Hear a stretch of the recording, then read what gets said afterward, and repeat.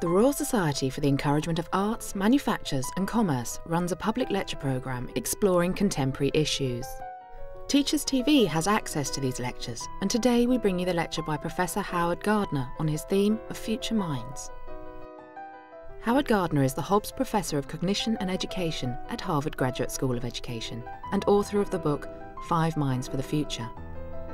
He is well known for his work on multiple intelligences and learning styles, but here he discusses the kinds of capacities and ways of thinking that he believes will be needed in our globalised world.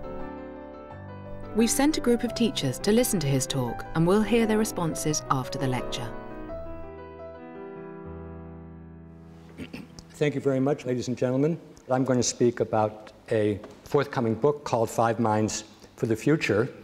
And for those of you who know something about my work, I have to begin with a disclaimer. Um, I am the person responsible for suggesting that human beings have various kinds of intelligence, what we call the theory of multiple intelligences. And I claim that human beings are better described not as having a single intelligence, but by having a number of relatively discrete intellectual capacities. When I write about the intelligences, and when I speak about them, I'm talking as a psychologist, and I'm speculating about how the mind evolved and how it's organized um, now. When I'm speaking about five minds for the future, I'm not speaking particularly as a psychologist. I'm speaking much more as a policy buff, a policy maker, suggesting the kinds of human capacities and skills which we'll have to cultivate in the future, both so we can survive as a species and so we can have a world that we'd want to live in. When I talk about the future, I will say right off the bat, I have nothing particularly original to say about the topic. Um, this slide is a Time magazine style list of aspects of globalization, of uh, new kinds of uh, scientific and technological innovations, of political promise as well as political turmoil and turbulence. And if you're talking about the minds for the future, you have to put it against the backgrounds of the various facets of, of globalization.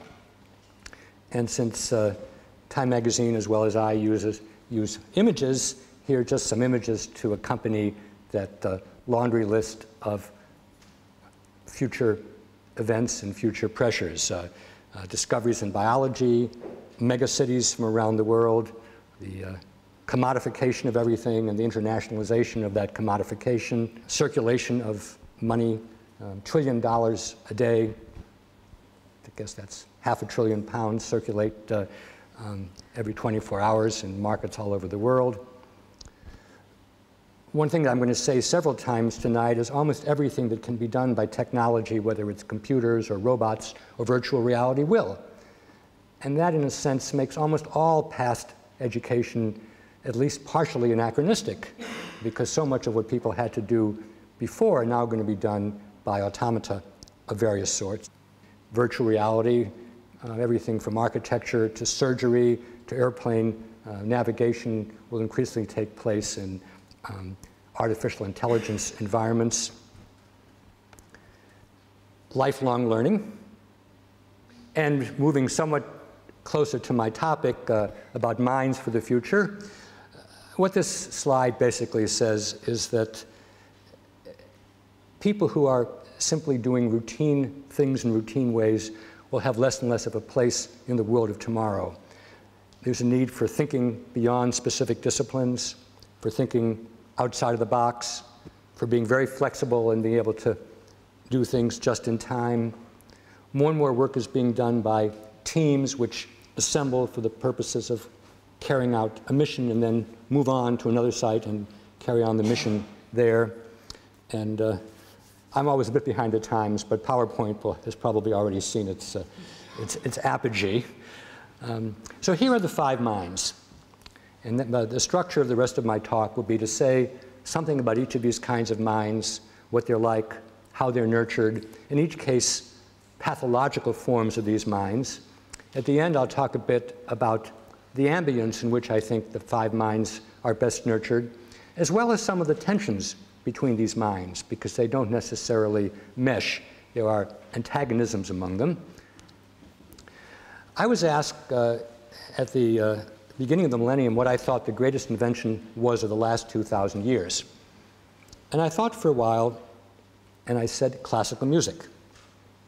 This is Mozart, who I worship above all other artists, and uh, I really do think classical music was a fantastic invention.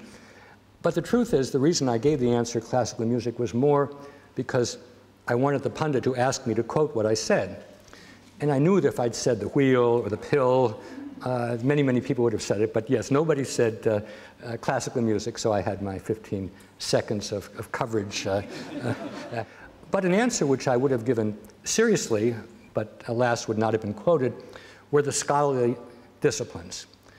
Those of us who are in education in the academy, and almost everybody who's here tonight probably is at least related to those institutions, take the disciplines totally for granted history, science, mathematics, the arts. Um, we assume that they're part of being human and that they've always existed. But in fact, a moment's thought uh, confirms that the disciplines were all invented in the last few thousands of thousand years. Classical music is an invention of a few hundred years ago. History, probably from the Greek, Roman times. Science, as opposed to technology, is really an invention of the uh, of Europe in the 16th and 17th century. So the disciplines are very precious inventions. When barbarians take over, they usually try to wipe out all the disciplines except for warfare, which is a, you know, a discipline which has, has a very long history. When I talk about the discipline mind, I'm making two um, points, both based on the dual meaning of discipline in English. A disciplined mind is one that works steadily on things and gets better and eventually becomes an expert um, of one sort or another. And no matter how talented you are at birth, unless you work at something you're not going to attain expertise, you will not be a craft person, a professional, a scholar um, without the, the regular discipline. But the point that I focus on, because a lot of our research has shown that the second aspect of discipline is very difficult to achieve are the distinctive ways of thinking which are associated with the major disciplines. It'd be nice to think that human beings evolved to think scientifically, but we didn't. Scientific, science thinking is a very unnatural way of thinking. Lewis Wolpert here in the UK has written much about this. Historic thinking is also um, quite unnatural Of course, every society, every culture has stories and narratives, but that's very different from thinking historically.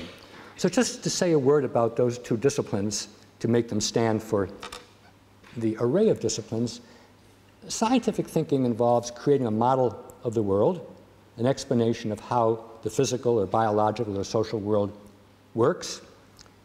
The model should yield some predictions. People carry out experiments or observations.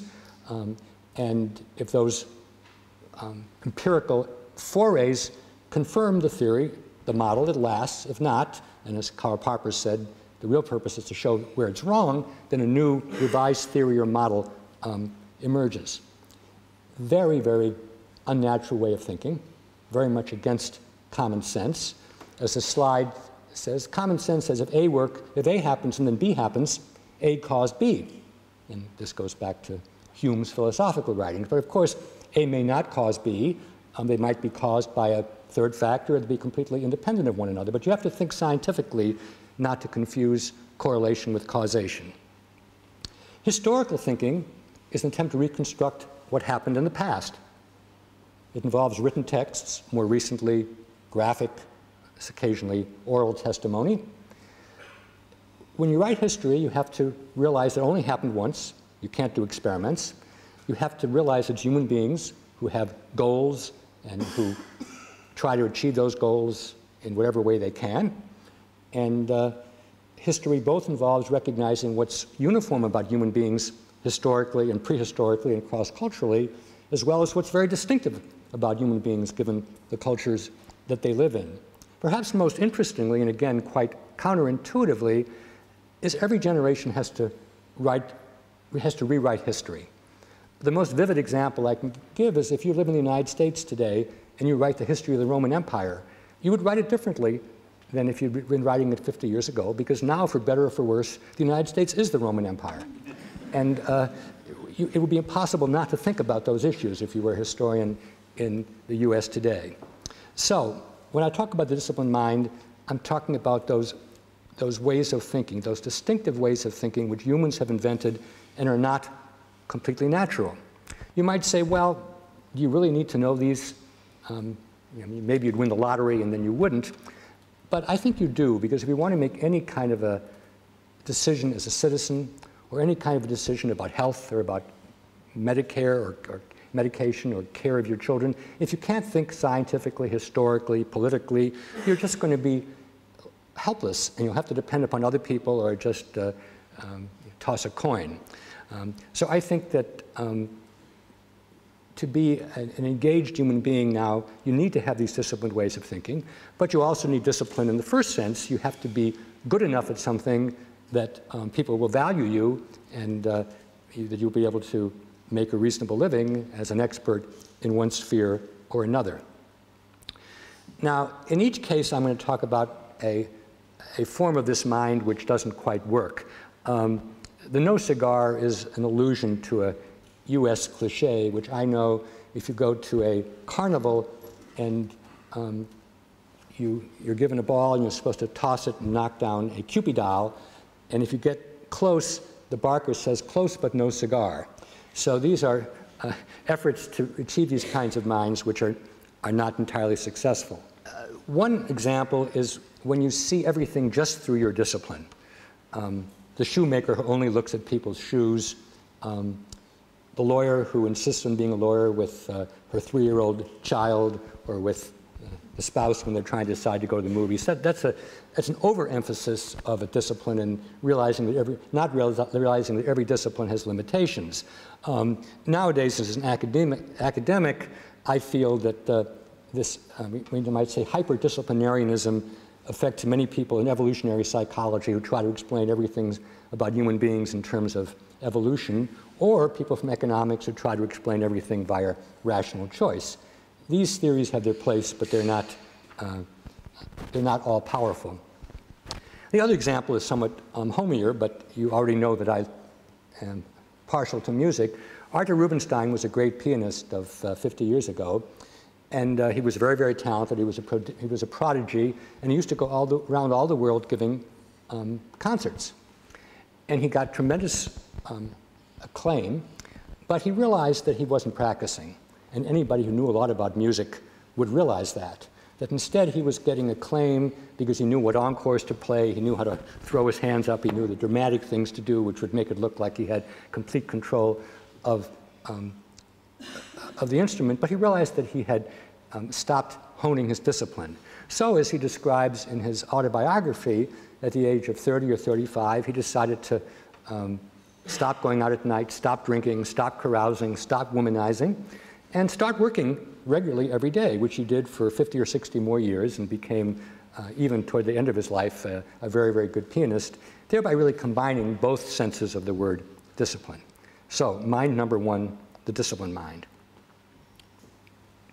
The second mind is the, is, the, is the synthesizing mind. And it's actually the one that I've become most fond of in working on, on, on this book because I think it's the mind that we all desperately need these days, and yet um, there's really very little practical that we know of how to help people synthesize. This is a great synthesizer, Darwin, who in his 20s traveled the globe on the Beagle, took copious notes, and then for 20 years reflected on what he'd seen on his trip around the world, reflected on his own domestication of plants and animals, corresponded with every naturalist in the world, and then finally, 25 years later, uh, not far from here, his famous paper was given in 1858, and the next year he published On the Origin of Species, which is one of the great intellectual syntheses of, of all times. What does synthesis involve? And why do I think it's both important and rare? Nowadays, everyone in this room knows that we are inundated with information. Almost any topic that you put into a search engine, you will get so much information you couldn't possibly digest it, let alone remember it or use it. So what does the synthesizing mind have to do? First of all, it has to decide what to pay attention to and what to ignore. And there needs to be reasons for that. Um, can't be random or just pick the first site on Google and assume that it's the best, because there are all kinds of adventitious reasons why something might be site number one. Then, when you've decided what to focus on, what's important, putting it together in a way that makes sense for you. Because if you can't hold on to it, retain it, put it into a framework, a theory, a grid, then it's going to be evanescent and you'll have to go back to the search engine or to the Wikipedia or to an old-fashioned thing called a library or get on the telephone and so on. But putting things together for yourself are not enough unless you're a hermit. Almost all of us, whether we're educators or journalists or work in business, um, need to be able to communicate syntheses to other people. And so after we've decided what's important, put it together for ourselves, we then have to be able to communicate it to other people. Murray Gell-Mann, the Nobel Prize winning physicist, said in my presence 10 or 15 years ago, in the 21st century, the most important mind will be the synthesizing mind, and I think he was really onto something. When I say psychology has dropped the ball, um, I'm a psychologist, and before embarking on my own inquiry, I looked through textbooks to see what was available in synthesis, and I was able to find very little. So, um, Synthesis for Dummies, because it was written by somebody who was just one step ahead of the student, is you first have to decide, of course, what you want to synthesize, but what, what will its form, what will its format be? Um, are you going to put together an essay? Are you going to give a talk? Are you going to prepare an annual report? Something for a board? Um, something for your classroom? Where do you start? Where's the dry land? Are there earlier syntheses? What do textbooks say? What does the most informed person you know say? You've got to start there.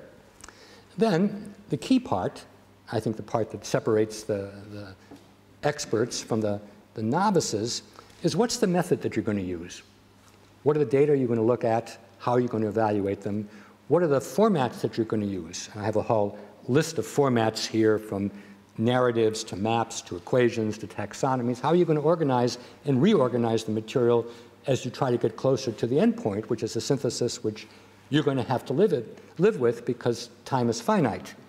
It's very, very important to have what I would call a proto-synthesis, a rough draft, done enough time beforehand so that you can get some feedback from knowledgeable people or from people who are going to have to be your audience and who are going to have to make sense of what it is that, that you've said. And then, of course, finally, because life is finite and because there are syntheses yet to come in the future, you have to be able to put it to bed and, and move on. And uh, those people who know how to do this and those people who know how to train other people to do this will be at a tremendous advantage in the years ahead.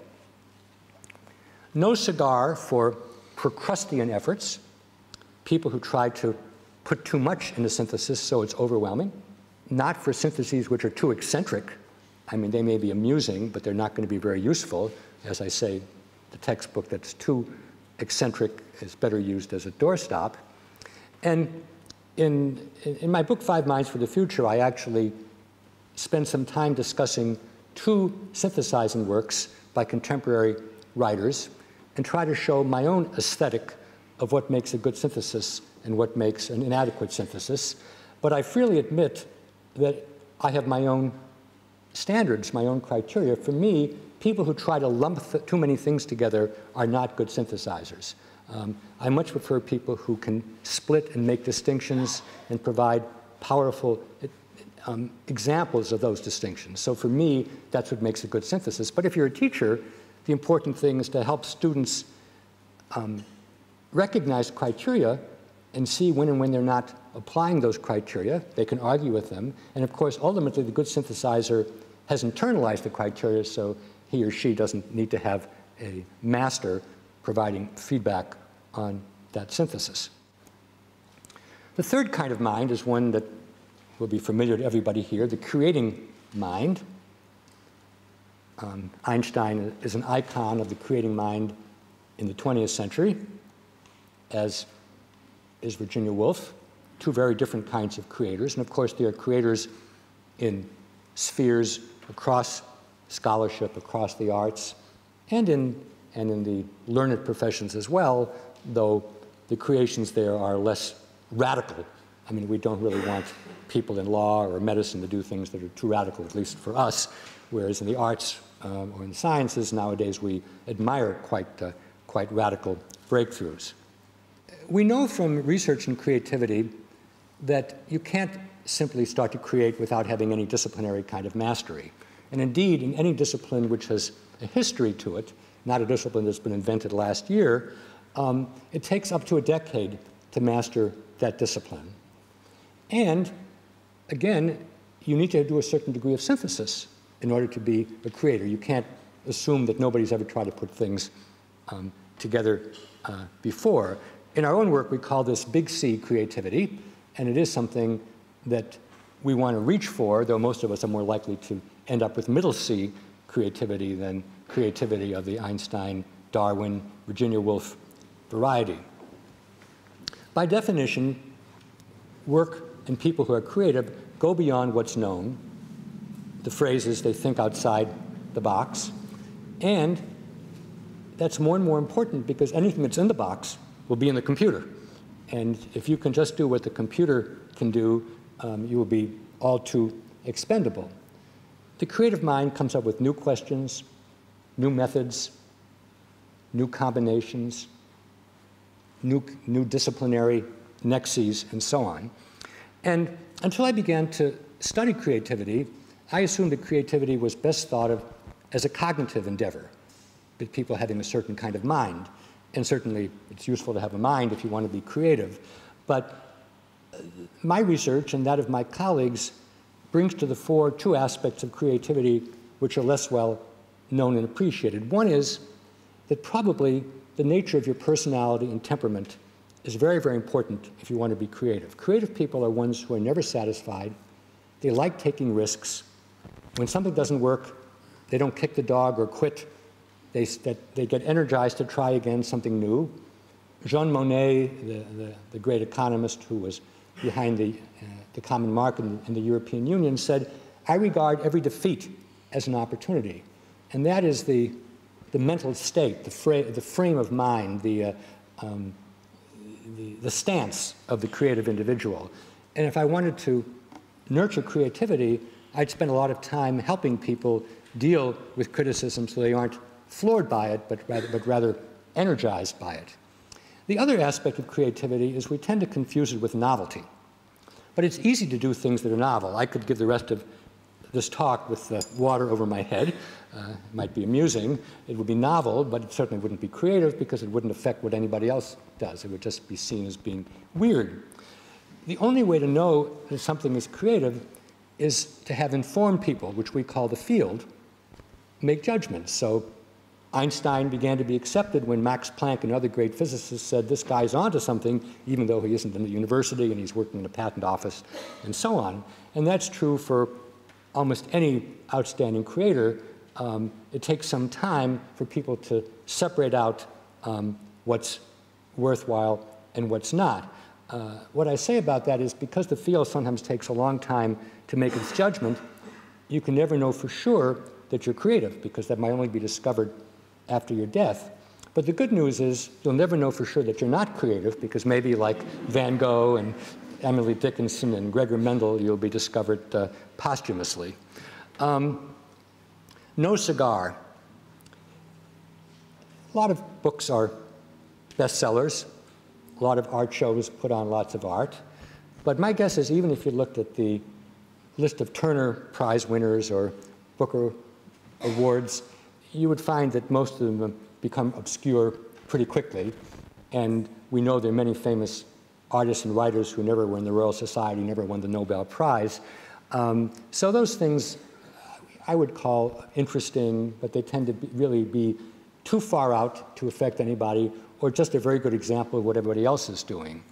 Um, in the area of um, physical sciences, um, in 18th century, um, people used to think that you had um, materials that were combustible because they joined with something called phlogiston. It was a special substance that made things burn. Um, in the 19th century, people thought that time and space um, existed in something called the ether um, until Einstein showed, based on both theoretical and empirical work, that there was no reason to um, hypothesize uh, an ether. And a recent example um, from the United States was the great um, excitement about cold fusion 10 or 15 years ago, where people said we can get infinite amounts of energy just from water and electrodes, and we don't have to do anything at all fancy. But cold fusion, like phlogiston and ether, um, turn out to be um, not creative because they are not uh, domain changing. Now, when I spoke about this the other day at um, the Open University, um, people rightly pointed out, well, um, if uh, people talked about phlogiston or ether in, in good faith, would that really be non-creative? And uh, the answer I gave them was truthfully that I had only in my book focused on cold fusion.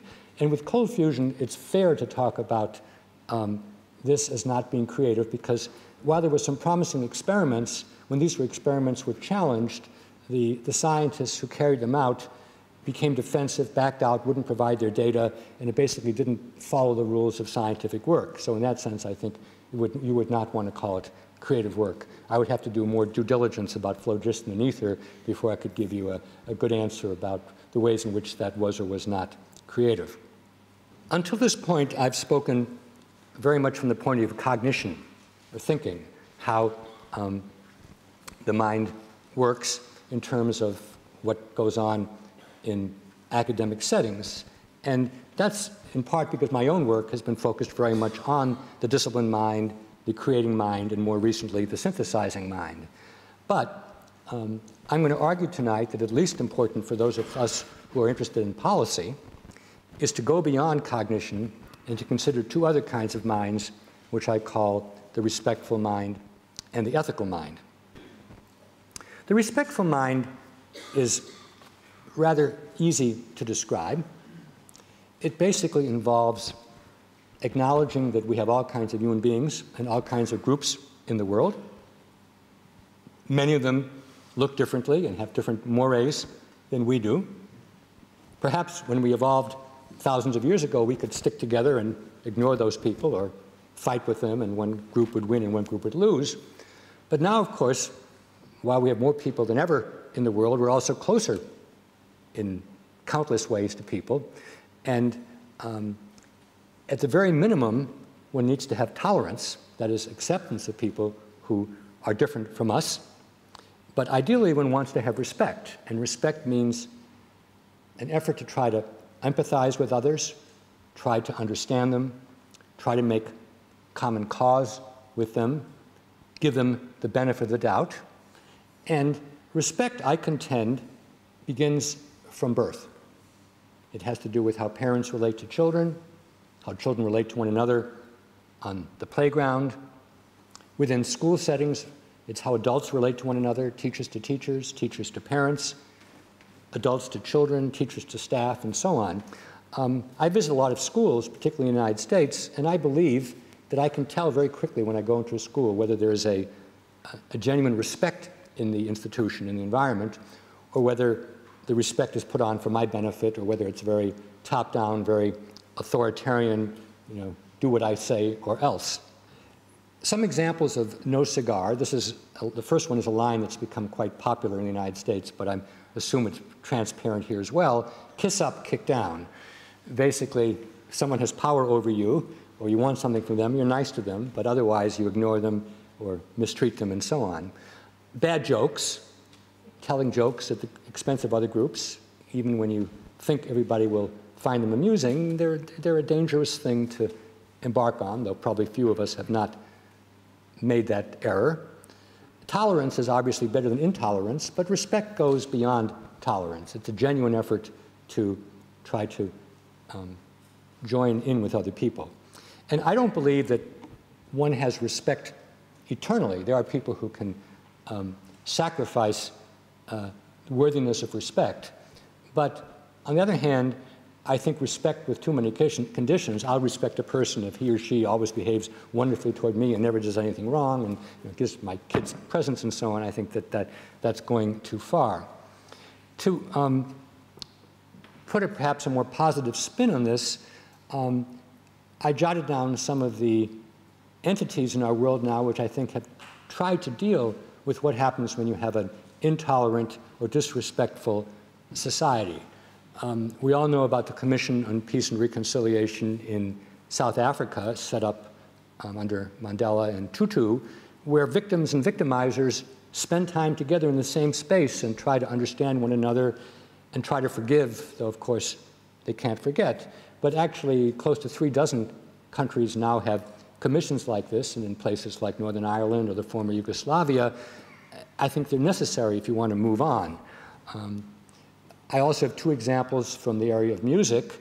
Um, some years ago, Daniel Barenboim and Edward Said set up an orchestra in the Middle East called the Divan Orchestra, which actually had Israeli and Palestinian young people play together during the day and talk about political issues at night. And this has continued right through to the present, though obviously it's not a good time for um, Middle Eastern uh, civility, let alone respect. Um, in the United States, Yo-Yo Ma, the, the wonderful cellist, about 10 years ago set up something called the Silk Road Project, which involves musicians and musics from the 2,000 miles of the old Silk Road, all the way from Asia through to Europe.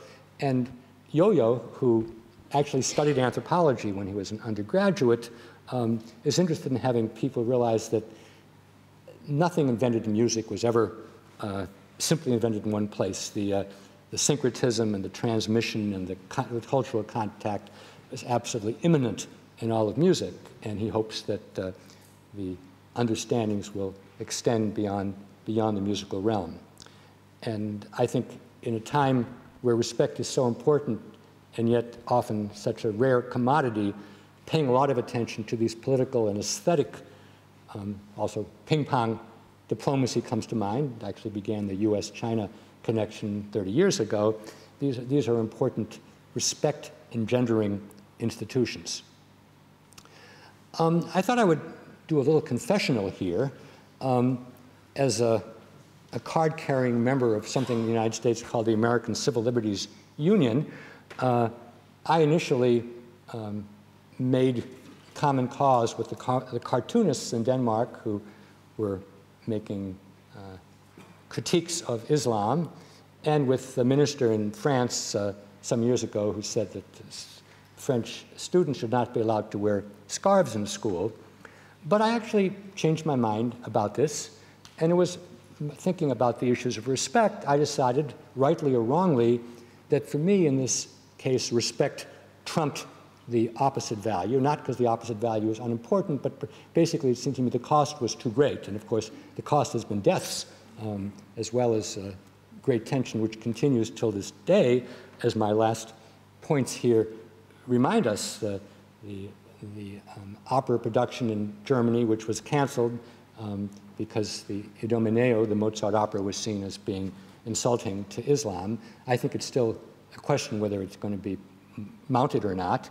And of course, in Britain, people are very well aware about uh, Jack Straw's um, temperature rising remarks about uh, the wearing of veils here in Britain. So issues about respect and its relationship to ethics are, are very much around us every day.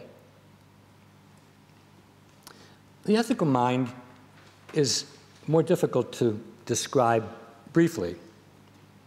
Respect, as I said, is something that young people can sense almost from birth. It goes back to the most elementary human relations.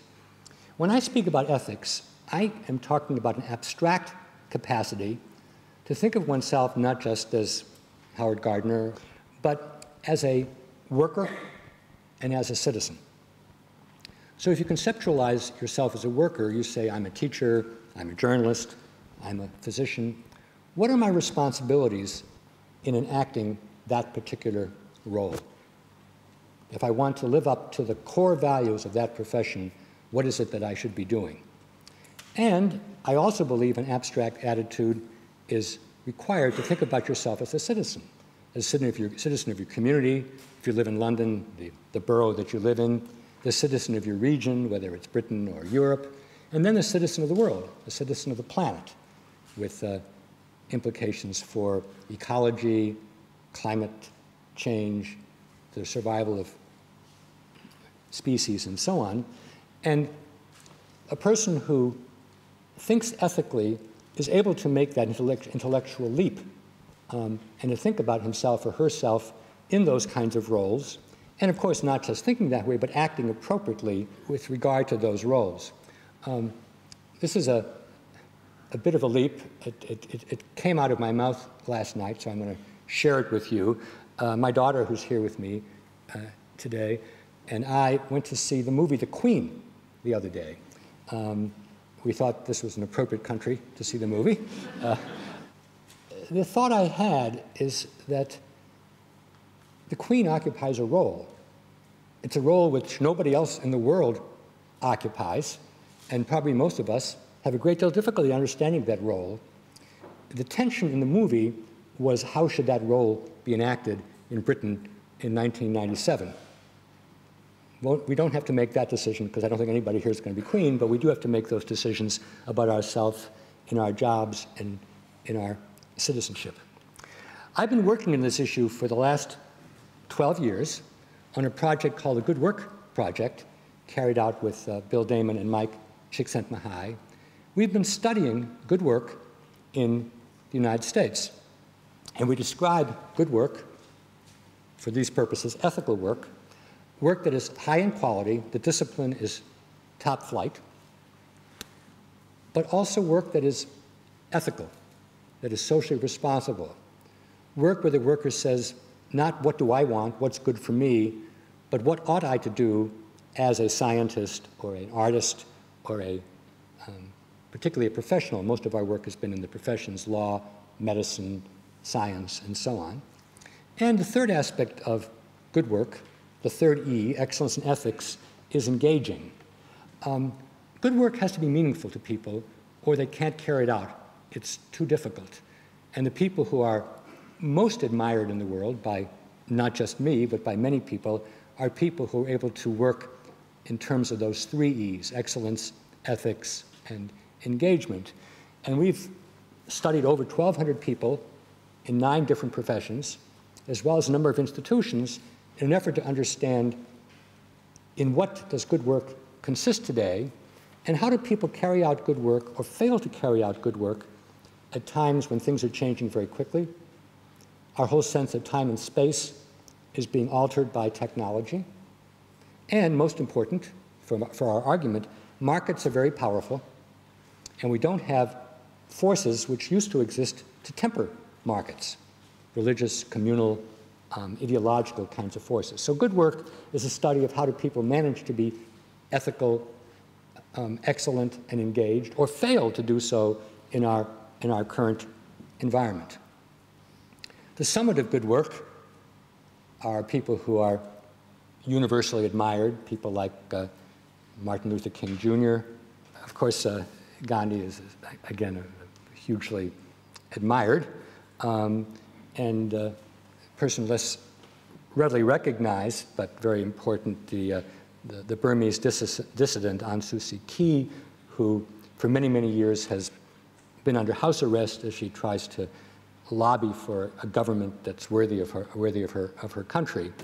Um, and you'll notice that two of these three people, who are giants in the same way that Einstein and Darwin and Wolff are giants, were assassinated. And uh, you know, uh, Aung Suu's life is also often in jeopardy for these reasons. So good work is, is not easy, and that's one reason if it's not highly meaningful to you as it was for these people, um, it's unlikely to be carried out. Now, it would be nice to be able to say that everybody wants to be a good worker and everybody tries. But in another study um, carried out with several colleagues, we studied over 100 young people in America in three different professions. These were people in school or in internships or in their first jobs. And we discovered a very unsettling picture, which I want to share with you. These young people all know what good work is, and they would like to be good workers, and they admire people who are excellent and ethical and engaged. And of course, some of them themselves live up to these high standards. What we discovered in the United States was that many of these people told us, someday we want to be good workers. But we don't think we can afford to be good workers now. We don't think we can afford to be ethical, because we don't think our peers are. We don't trust them. We think they're cutting corners. We think they're doing everything to advance. And we don't want them to get the positions of power and prominence at our expense. And so what they say is someday we'll be good workers, and then we'll try to teach and train other people to be good workers, but right now give us a pass. I'm, I'm reminded of what St. Augustine said. Uh, uh, he said, Oh Lord, make me chaste, but not quite yet. And this is, this is what the good workers are, are saying. And the phrase moral freedom comes from Alan Wolfe, uh, a very excellent sociologist in the United States. He says that um, no society can exist without a moral core.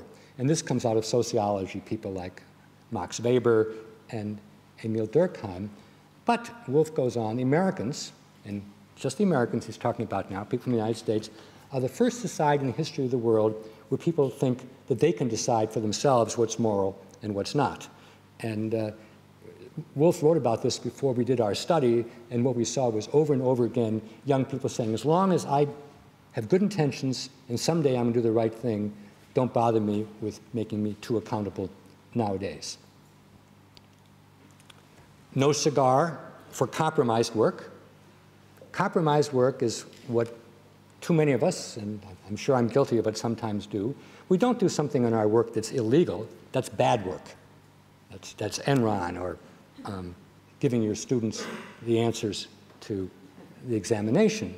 But many of us do compromised work. We don't do the extra due diligence when we're writing a story in journalism. Um, we don't do the necessary control when we're doing a scientific experiment. Uh, we know in the area of accounting, too many people work both for the auditing agency and for the, the company as a consultants, and that's not, that's not acceptable. So uh, I've been particularly studying compromised work, work that is, isn't uh, strictly illegal, but of course both of these are perils, uh, um, bad work and, and compromised work. Summary. I've described five kinds of minds, three of them cognitive, disciplined, synthesizing, and creating, and two of them in the human sphere, the more direct respect which we owe to our neighbors and to our families and to people who are more remote, and the more abstract kind of ethics, ourself in roles such as a professional or a, or a citizen. Ideally, as a policymaker, I would hope that we could engender all five of these minds in young people. And by far, the best way to do it is a way that all of our grandparents knew, namely to put them in environments where these kinds of minds are modeled, where people do have discipline, can synthesize, are willing to break new ground, treat one another with respect, and take the ethical stance. So the desire for these minds uh, is easy to justify, and the belief that if they are in the air, in the atmosphere, they're more likely to be achieved is again uncontroversial. Um, this goes beyond the banal when it comes to choosing the place that you work. Sometimes people have no choice, but often they do. And one of the important things is to be able to take the temperature of the institution which you decide to work at and to say, is good work modeled there? Similarly, some people have no choice about mentors or about uh, role models, but to the extent that you do, and we can all choose what's called a paragon, somebody from history or even from mythology to identify with, do you pick people who wanted to have it all before they died were people who um, behaved in, in ways that were, that were responsible and ethical? However, as I said at the beginning, there are tensions between these kinds of minds. I described one with reference to myself, namely the question, why do I go by the, we might say, the, the US Constitution and the ethics implied there, or do I go by more person to person respect? And that's a place where actually changed my mind. I did the opposite in recent years at my own university, where I decided at some cost to become a public critic of the president of the university because as someone who'd been there for many years, I concluded that um, I had an obligation as a citizen of that community to speak up. And that's a case where ethics trumped respect. The more familiar kinds of tensions are between discipline and creating. If you're too much in your area of a discipline, you're not, you don't have any distance from it and you're unlikely to break out of it and try something new. An even greater amount of tension exists between respect and creativity because we owe our teachers and our mentors a certain degree of respect, but being creative almost always reject, involves rejecting the mentor's model at a certain point. But can we do that and what's the cost? It's frequently noted that in East Asia, students, proteges, have an enormous respect for their mentor. For that very reason, many of them end up leaving the country and coming to the West because it's easier there to forge your own path than it is to do when the huge shadow of your mentor um, uh, is in front of you. So even though the five kinds of minds would be great to have as an ensemble, there are going to be tensions, and even though I think everybody can develop some aspects of these kinds of minds, probably will end up in the cognitive sphere having some people who are more synthesizers and some people who are more creative and so on. Interestingly, in the end, nobody can put these minds together for you. You have to put them together yourself. And I think of that as sort of the ultimate synthesis. It's a personal synthesis. If you believe the pentad that I put forth, how do you put them together in a way that makes sense for you? So finally, closing thought from the wise New Englander. This is Ralph Waldo Emerson, famous 19th century philosopher from New England. And um, Emerson declared that character is more important than intellect. I have spent my life studying intelligence and creativity, largely from an amoral perspective, because you can't understand those properties unless you study people whom you don't like, who exemplify them, as well as people whom you like.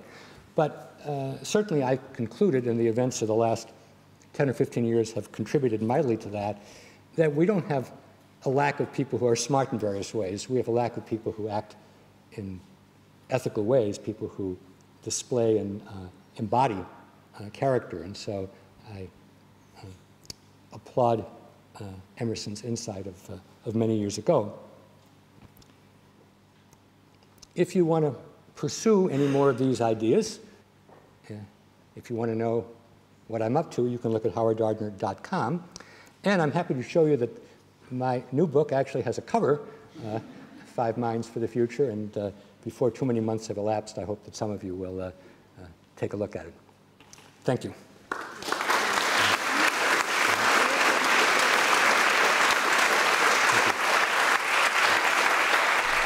So how do these five minds feature in our current education system? Let's hear our teachers' responses to the lecture and how it resonates with their work. I, I do feel that we do have to look at the future at respect and ethics and what do we want? The world is changing so much that what do we want to equip people with? With my subjects, um, mathematics, then very much it's to do with confidence. It used to be that it was maths was either right or wrong, and that's what um, Howard Gardner was talking about.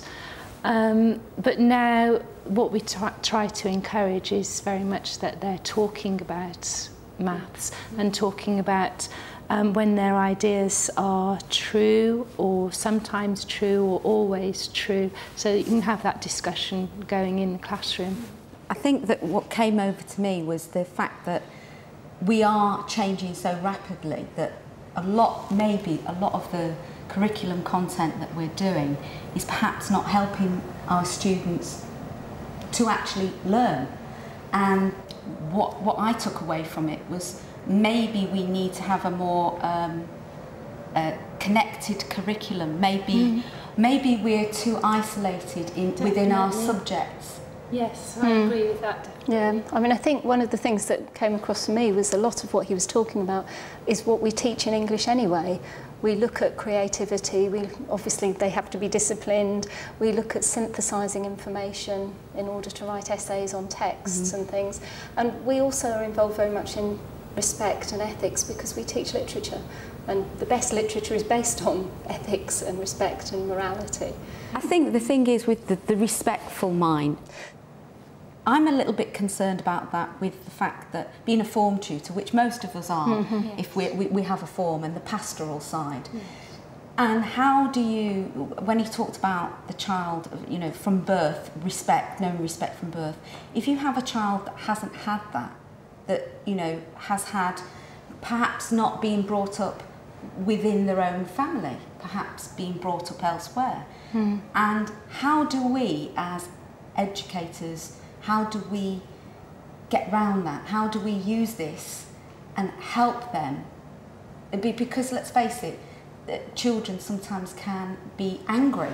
Mm. Well, people talk about a, lot, a loss of respect and they say that there was a lot more respect years ago, but I disagree with that. I think that um, we're in a much better position now to show mutual respect and to show by example, whereas before um, pupils were frightened of the teachers, so it wasn't a real respect. Mm. Yeah, it, it was a, a fear. Yes, but I say to my classes, my one rule is that we respect each other. I re will respect you, and you must respect each other, yourself, and me. Yes, so I think if they have respect for you and you have respect for them, then all the other things yeah. follow, mm. don't they? I think there's an awful lot that actually goes across all subjects anyway. If we take the, the, those five minds, the, the synthesising, the discipline, and that was interesting because um, the, the, the analogy you gave about it, it, to be good at something, you know, the 10-year rule yeah. and the lifelong mm. learning. Yeah. And I, I, you know, as a, personally, I'm committed to lifelong learning. But do we get that enough of that over to our students? Are we actually um, embarking with, with our students? We sort of talk about educating and we talk about learning and learning to learn, but do, do we see it in a wider context rather than just in the school context? I think it's really important that we do see it in the wider context and we promote um, cross-curricular views within the students. It's important yeah. that mm. um, if the school can give us, if our schools can give us time to talk to each other and to develop a more integrated curriculum. I think there's a lot that I will take away from this lecture um, to be able to talk to my form yeah. about because um, they have lots of firm views and of their own. And it's interesting to hear about what they think mm. about respect and what they think about different scenarios. I saw lots of links with this into citizenship and yes, PSHE. Yes, well we teach PSE as form tutors. Yeah. We teach our forms PSE. I teach year seven study skills and I feel very much that those are things that that's where I'm taking this back to. Yeah, I, I feel that too. I think this, the, the five minds and talking about it, you know, the discipline mind, the synthesizing, the creative mind, and then ethics and respect. Mm. I think that's something that we can discuss within citizenship mm. and mm. within uh, PSHE because yeah. it, you know, it is some, it, it is the future